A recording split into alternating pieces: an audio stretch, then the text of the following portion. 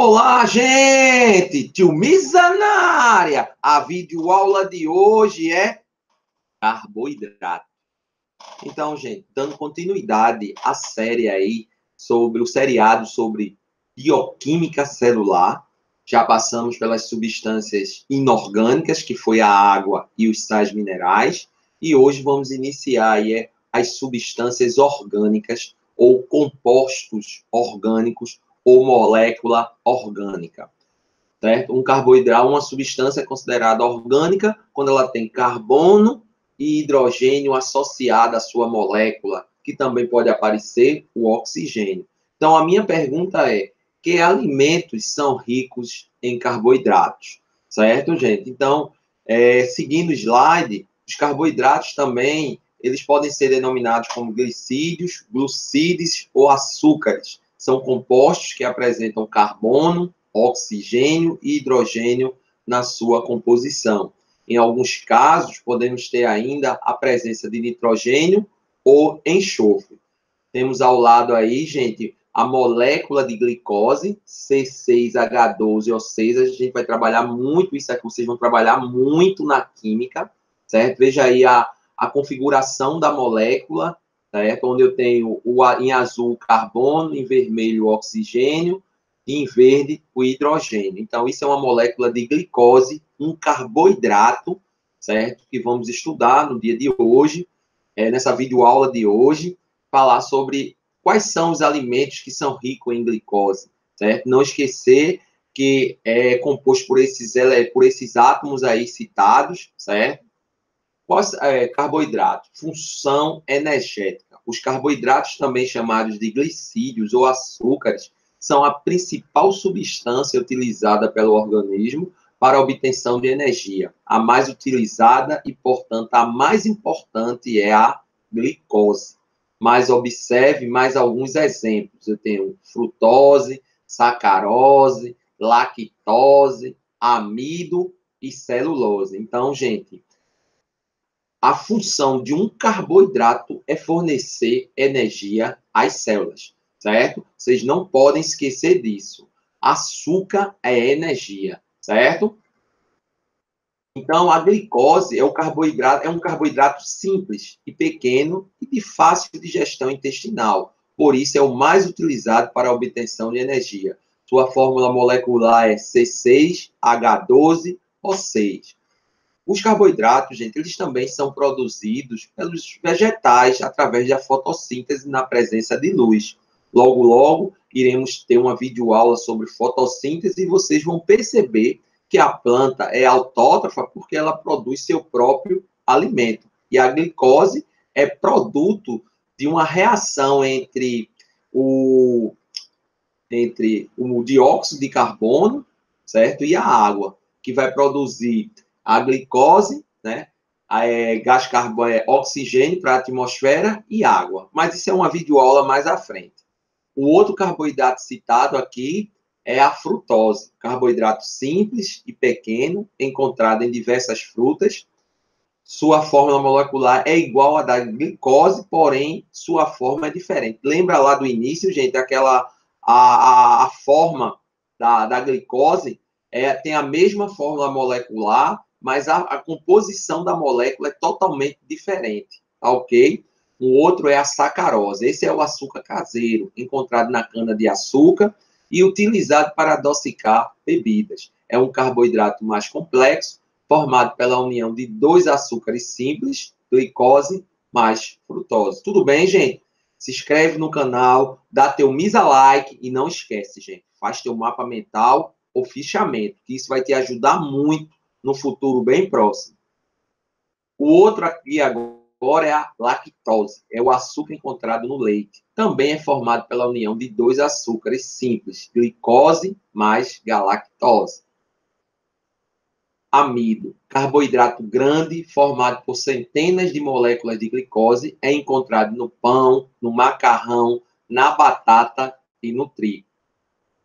Celulose é o açúcar que constitui a parede celular, a membrana que reveste a membrana plasmática das células de todos os vegetais é formado pela união de centenas de moléculas de glicose.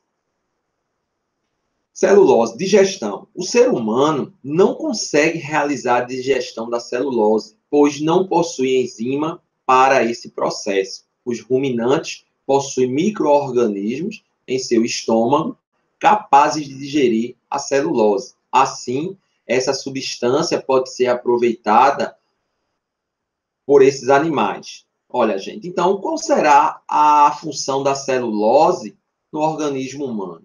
Olha, gente, a celulose ela vai funcionar como fibras. Ela vai aumentar o bolo fecal e vai facilitar o movimento peristáltico do estômago. Esse movimento involuntário que o estômago faz, certo? Então, a função da celulose, já que não absorvemos ela, ela serve para aumentar o nosso bolo fecal. Tá ok, gente? Anota essa dica, não esquece disso. Faz teu mapa mental, faz teu fichamento e se inscreve no canal e dá misa likes. Tá ok, gente?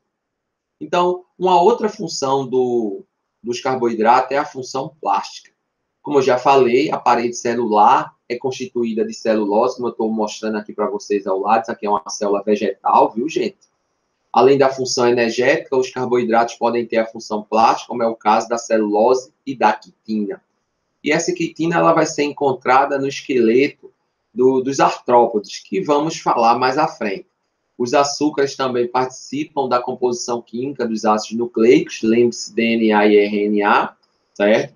Quando a gente for estudar o DNA, o açúcar do DNA é a desoxirribose e do RNA é a ribose, que é um carboidrato, os quais são responsáveis pela coordenação e comando de todas as funções celulares. Tudo bem até aí, gente? Posso seguir? Que o MIS acredita muito em vocês, viu? Classificação dos carboidratos.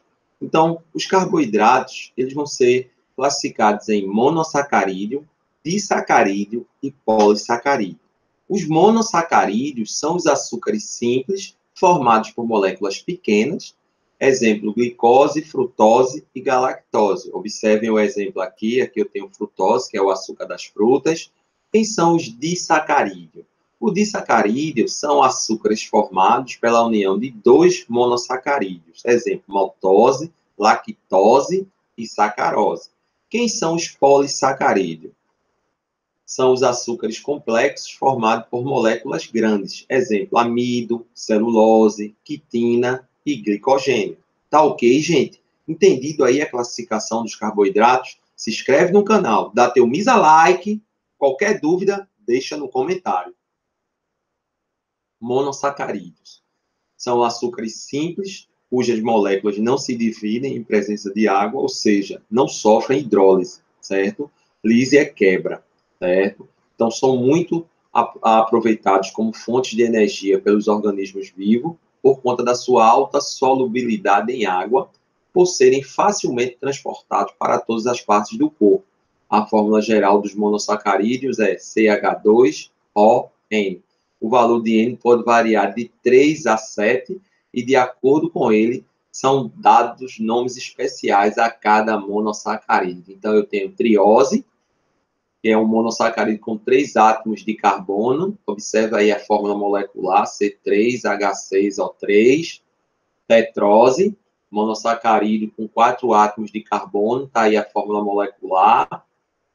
Pentose, monossacarídeo com 5 átomos de carbono, hexose, monossacarídeo com 6 átomos de carbono, observa aí a fórmula, epitose, monossacarídeo com 7 átomos de carbono, certo? Então, eu quero que vocês entendam aqui a quantidade de monossacarídeos, e são os açúcares mais simples, cujas moléculas não se dividem em presença da água. Tá ok, gente? Captado isso aqui, que o MISA pode seguir, então, quem são os disacarídeos? Observa que os, eh, que os disacarídeos eles têm uma síntese por desidratação.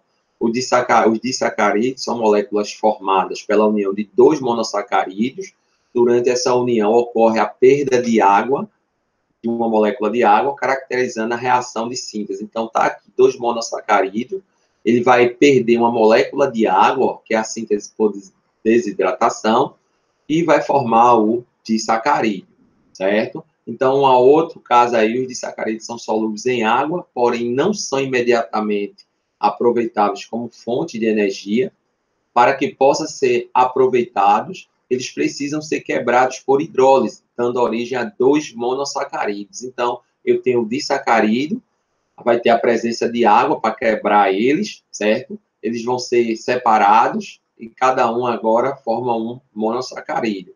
Olha, gente, qualquer dúvida, deixa no comentário que Tio Misa responde. Se inscreve no canal, dá teu Misa like e Tio Misa fica feliz. Tá ok, gente? Os principais disacarídeos são sacarose, lactose e maltose. Quem é a sacarose? É o açúcar da cana e da beterraba, formado por uma molécula de glicose e de uma de frutose. Quem é a lactose? A lactose é o açúcar do leite, formado por uma molécula de glicose e uma de galactose. Então, tá aí o carboidrato leite, né, que é um disacarídeo, né? Quem é a maltose? É o açúcar típico de vegetais, formado por duas moléculas de glicose, atuando como reserva energética. Tá aqui o exemplo, né, que é o açúcar típico dos vegetais. Polissacarídeos. Os polissacarídeos são moléculas grandes formadas pela união de vários monossacarídeos. A fórmula geral dos polissacarídeos é C6H10O5N, porém ela não é válida para todos, pois alguns apresentam nitrogênio ou enxofre em sua fórmula. Eles são insolúveis em água e podem ser desdobrados em açúcares simples por hidrólise. Então, principais polissacarídeos. Toma nota, faz teu mapa mental e se inscreve no canal. Visualiza. Tio Misa precisa de muita visualização e Tio Misa acredita em vocês. Então, os polissacarídeos, eles são estruturais ou energéticos, certo? Não pode esquecer a função dos carboidratos. Então, os estruturais é a celulose, que é encontrada principalmente nos vegetais, participando da constituição da parede celular, a quitina, que é encontrada na parede celular dos fungos e na carapaça de artrópodes, certo? e os energéticos são o amido, que é encontrado nos vegetais, tendo a função de reserva, e o glicogênio, encontrado nos fungos e nos animais, tendo a função de reserva energética. Tudo bem, gente? Anotado? Faz teu mapa mental, não esquece. Então, gente, chegamos ao fim de mais uma videoaula sobre carboidratos, certo? Não esquece, gente, faz teu mapa mental, anota as principais características dos carboidratos, as suas funções, os tipos de carboidrato. Tio Misa agradece. Até a próxima videoaula. Fui!